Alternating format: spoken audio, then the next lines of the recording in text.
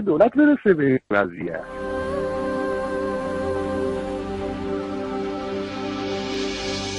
در ایران فردا حقوق طبیعی و خدش ناپذیر بشر شامل حق زندگی، حق آزادی، حق امنیت و برابری در مقابل قانون برای هر ایرانی باید تأمین شود.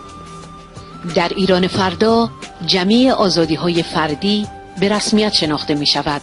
آزادی بیان، پوشش، ازدواج و طلاق، اشتغال، رفت آمد، انتخاب محل اقامت و تابعیت.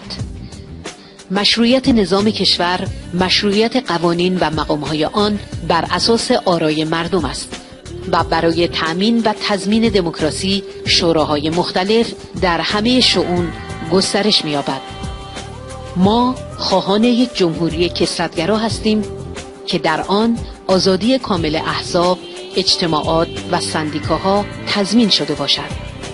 در ایران آزاد فردا از لغو حکم اعدام دفاع می‌کنیم. شکنجه تحت هر عنوان ممنوع خواهد بود. مجازات های بیرحمانه و تحقیرآمیز به هر عنوان از جمله تحت نام مذهب جایی نخواهد داشت.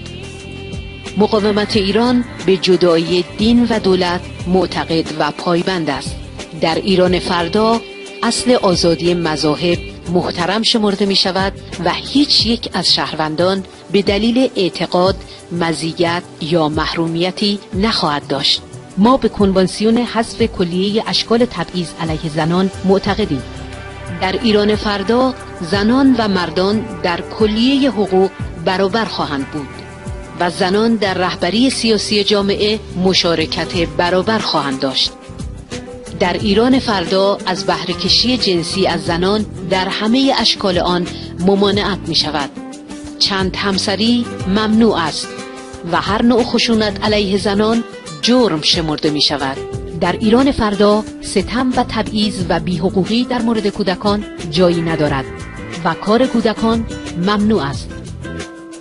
دادگستری ایران فردا یک نظام قضایی واحد خواهد بود. که در آن نفی تبعیض در قضاوت و استقلال کامل قضات و استقلال کانون وکلا تضمین شده باشد.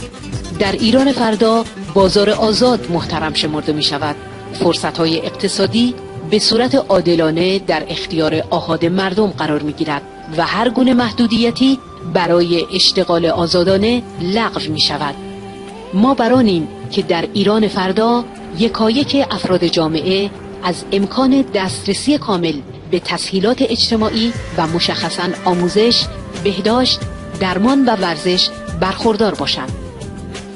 در ایران فردا حق عادلانه خودمختاری مردم کردستان ایران و رفع ستم از همه تنوعات ملی در چارچوب یک پارچگی تجزیه ناپذیر ایران به رسمیت شناخته می شود.